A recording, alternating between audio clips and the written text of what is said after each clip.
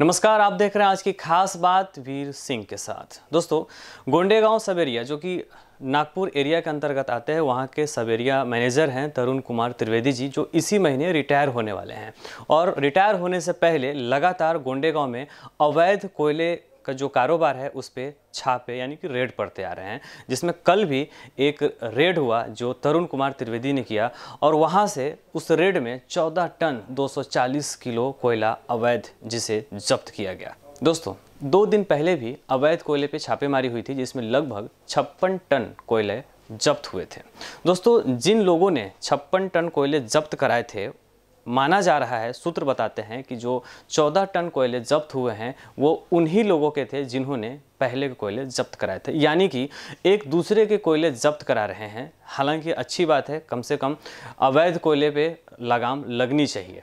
कहा जाता है कि चोर चोर मौसेरे भाई, शायद यही उदाहरण यहाँ देखने को मिल रहा है।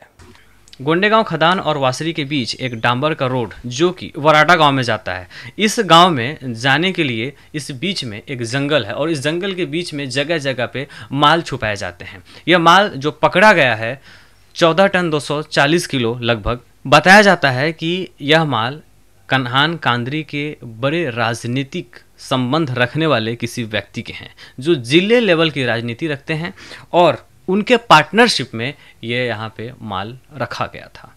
आप देखते रहें इन न्यूज़ वीर सिंह के साथ।